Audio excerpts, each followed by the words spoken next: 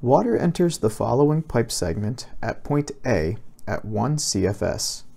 Find the diameter of the second sewer. So over here is the given pipe network. Here is point A. This is the flow rate through it. And we are tasked with finding the diameter of sewer number 2, which is going to be down here. Sewer 1 will be at the top. We can also see that we've been given a number of other pieces of information about each sewer, namely the Moody friction factor, the velocity, and the pipe length. So because this problem gives us a Moody friction factor, normally I would start by taking a look at the equation on page 313, which is where we would get to if we searched for Moody. This would give us the head loss equation showing that the Moody friction factor times length of the pipe over the diameter of the pipe times velocity squared over 2g equals the head loss. However, this problem is a pipe network, and more importantly, this problem requires us to know that in a pipe network, head losses are the same in each pipe, and therefore we can set this equation equal to itself, with one side representing each pipe. Page 341 of the manual actually calls this out and gives us our starting point for the problem. So if you see a parallel pipe or a pipe network on the exam, remember that this might be the page to go to. So let's start by filling out the equations listed on page 341 for the parallel pipe. The first thing it shows is that the head loss total equals FA times length a times diameter a times velocity a over 2g equals fb. We can think of a and b in terms of 1 and 2 here. Equals lb over db times vb squared over 2g.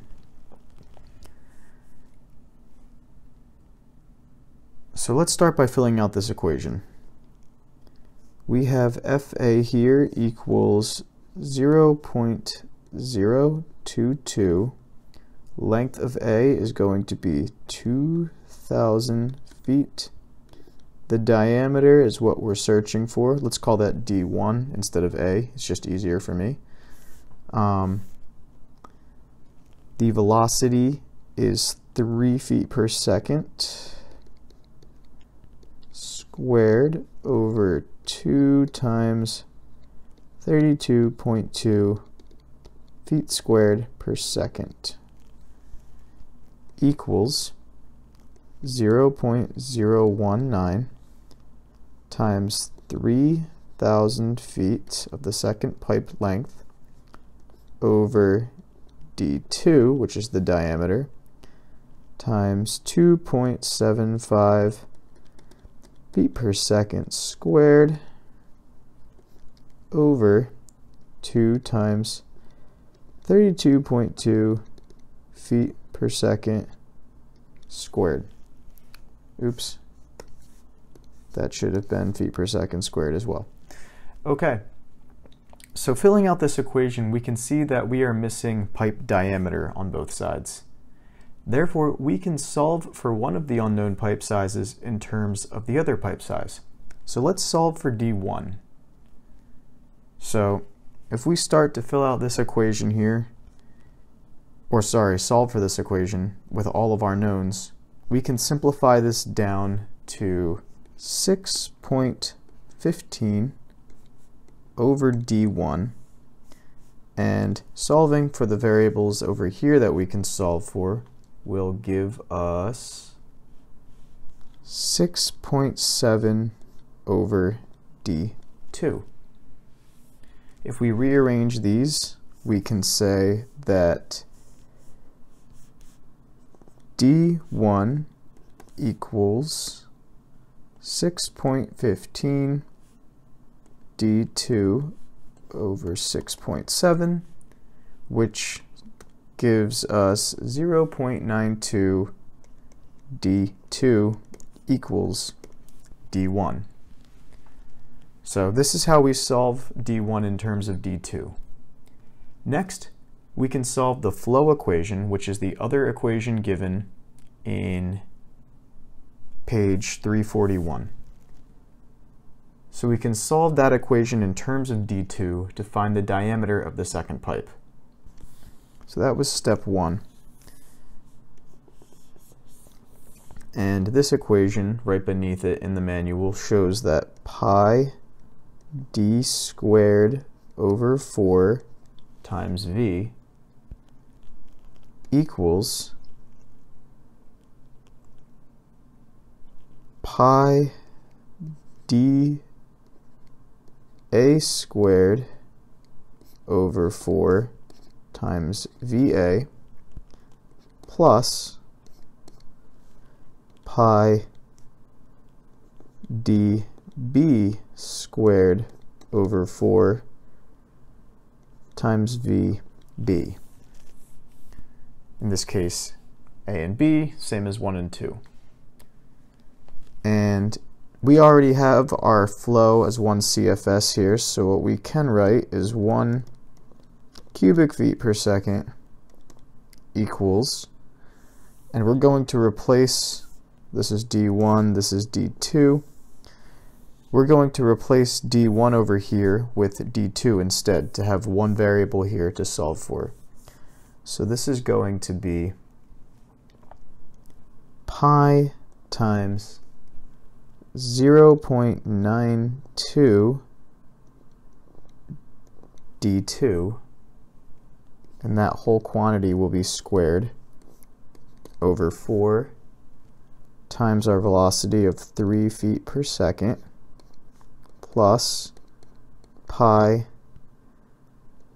d2 squared, that one's just by itself, over 4 times 2.75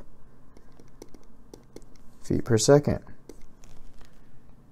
And if we solve this out a little bit more, we can see that pi times the square of 0.92 divided by 4 will give us 1.99 d2 squared plus a little simpler over here, pi divided by 4 times 2.75 gives us 2.16 d2 squared.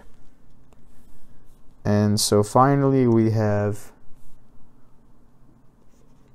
1 cubic feet per second equals 4.15 d2 squared. And solving for d2 here gives us a final answer of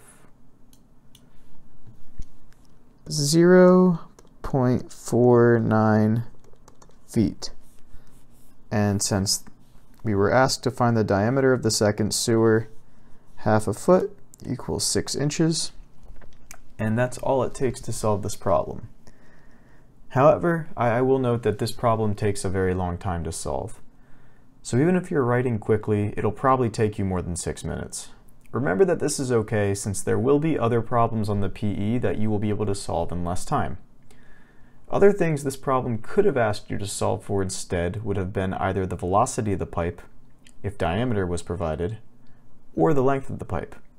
Personally, I think the hardest part of this problem is thinking about solving for one unknown in terms of the other. But now that you've seen this concept, it should be easier to recall if you come across this problem on the exam again.